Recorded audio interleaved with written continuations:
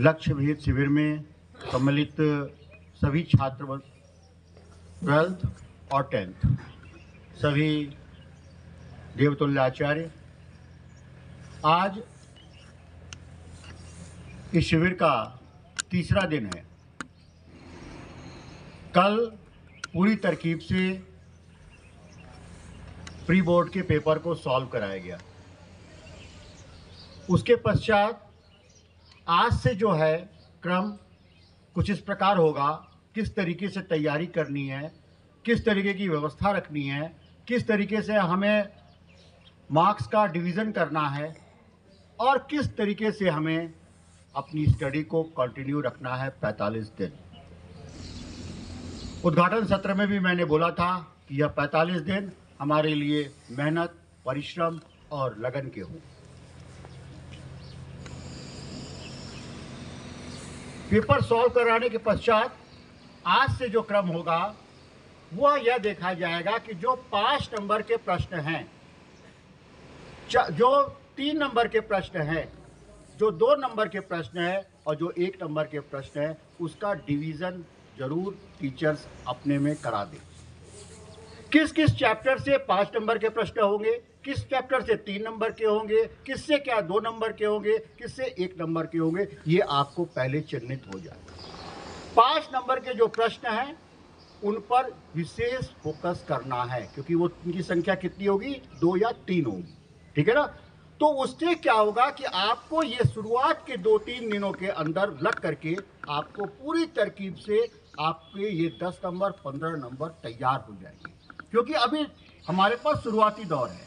हमें बड़े अंकों से चलना है, छोटे अंकों की तरह।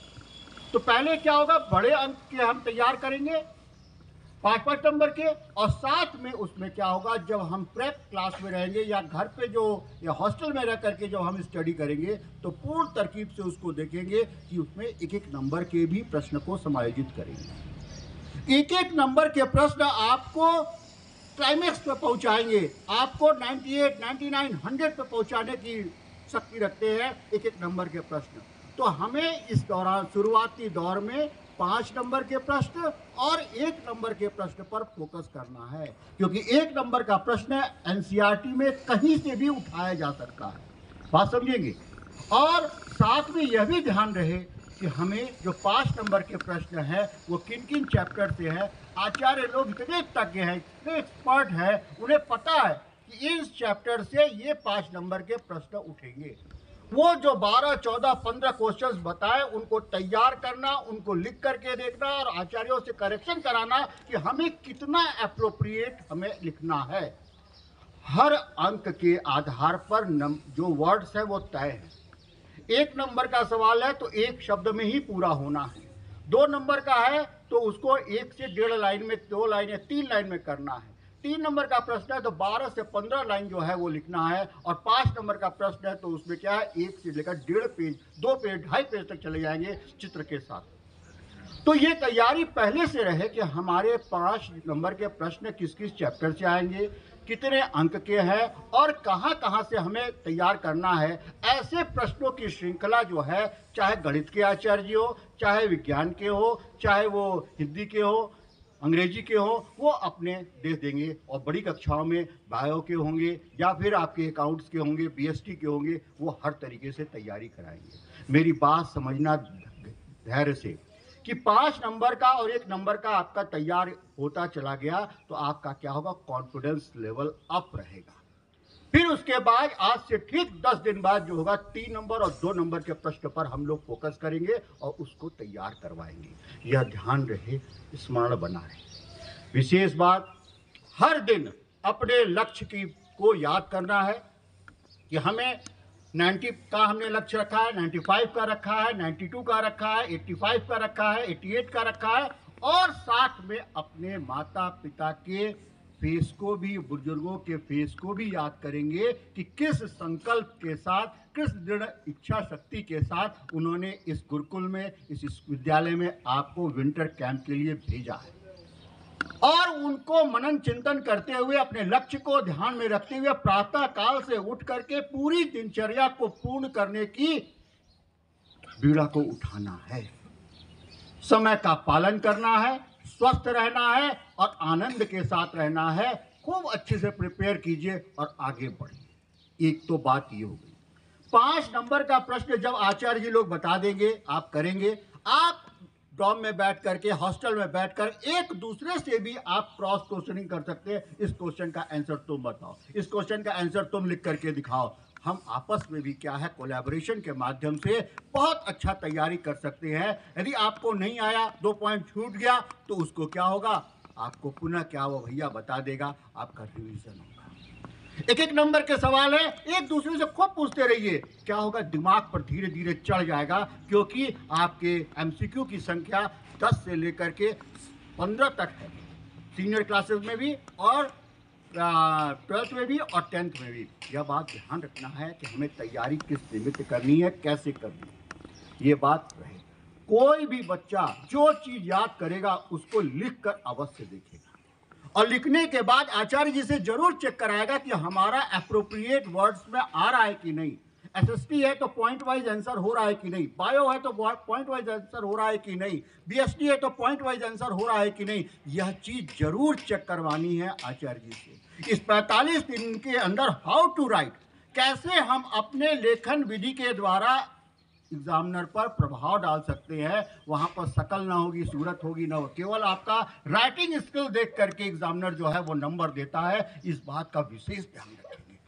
पूरी तरकीब से समायोजित करके, अपने माइंड को मेकअप करके कि किस तरीके से हमने याद किया, कैसे हमको लिखना है, कैसे हमें क्या है हर प्रश्न का उत्तर सही तरीके से देना है पॉइंट वाइज देना है, कहाँ अंडरलाइन करना है कहाँ साइंटिस्ट को हाईलाइट करना, कहाँ ईयर को हाईलाइट करना, इन बातों का जब ध्यान रखेंगे, तब जाकर के बात जो है वो बनेगी और हम सक्सेसफुल होंगे। मैं इसीलिए कह रहा हूँ, शुरुआती दौर से ही लेकर के चलना है अंकों का खेल।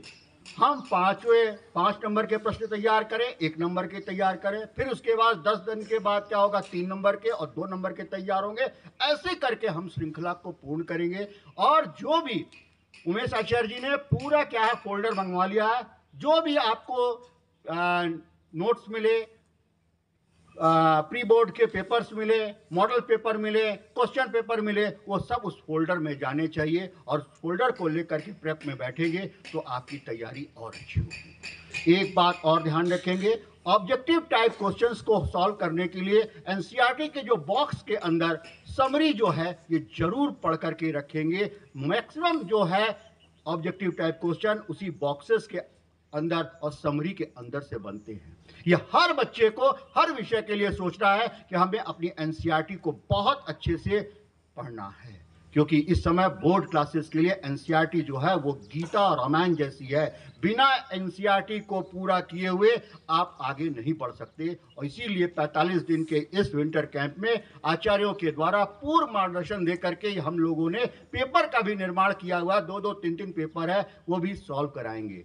जब ऐसी तैयारी होगी तो अभी जैसे क्या होगा, पाँच नंबर की तैयारी जो है दस दिन तक चलेगी एक नंबर की। उसी का टेस्ट पेपर जो है आपका टेन डेज़ बाद लिया जाएगा।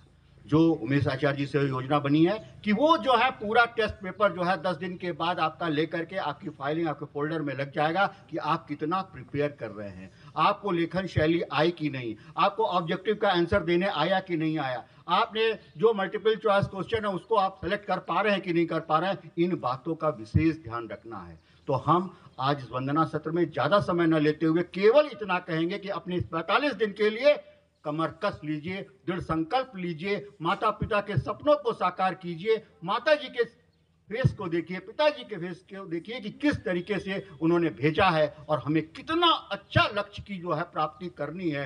हमने यदि 90 रखा है तो 92 यदि हम प्राप्त करके देखते हो तो और भी हमारे लिए गर्व का विषय होगा।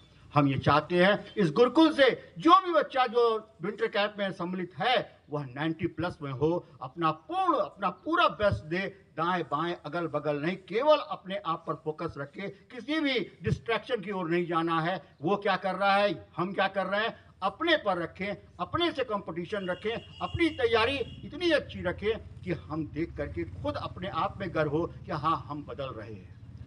हर दिन हमको अपने आप को इवेल्युएट करना कि आज हम कहाँ हैं कल कहाँ हैं परसों कहाँ हैं हमारे में चेंजेस हो रहे कि नहीं जो सवाल हमें आज नहीं आता था वो हमें आचार्य जी ने बता दिया।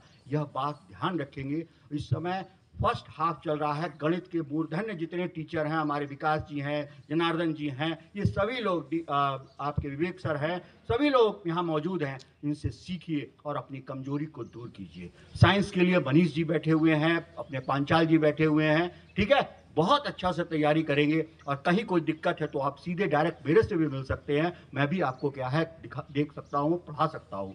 तो कुल मिलाकर के अपनी तैयारी को डे बाई डे, हर दिन हमें पता रहे, ऐसा मैं अभी उमेश जी से बताऊँगा कितने अंकों का किस विषय में तैयारी हुआ। किस तरीके से हमने अपने क्लास को और प्रेप को लेकर समायोजित करके हम इतने नंबर तक पहुँच गए, यह चीज़ ध्यान रखनी चाहिए। तो सभी देवतुल्य आचार्यों से निवेदन कि अपने बच्चों को पाँच नंबर और एक नंबर की ओर फोकस करते हुए पूरी तरकीब से तैयारी करा देंगे। तो श्रेष्ठ होगा। और ठीक दस दिन बाद पुनः मुलाकात होगी कि हम कहाँ पे स्टैंड कर रहे हैं। हमारा इवेल्यूशन जो होगा, जो टेस्ट होगा, उसके रिज़ल्ट देख करके हम फिर यहाँ से बात करेंगे कि हमारी प्रोग्रेस कहाँ पर है और हमें और क्या करना है, और किस तरीके से प्रेरणा लेनी है, और किस तरीके से हमें मेहनत करनी है, जिससे हमारा ग्यारहवें दिन से जो है, आगे का क्रम बीसवें दिन के लिए प्रारंभ हो। बहुत बहुत धन्यवाद बहुत बहुत शुभकामनाएँ। खूब अच्छे से तैयारी कीजिए पूरे मनोयोग से संकल्पित होकर के, दृढ़ संकल्प लेकर के कि हमें जीतना है जीतना है, अवश्य जीतना है। ध्यान रहे, सभी को बहुत बहुत धन्यवाद और शुभकामनाएँ।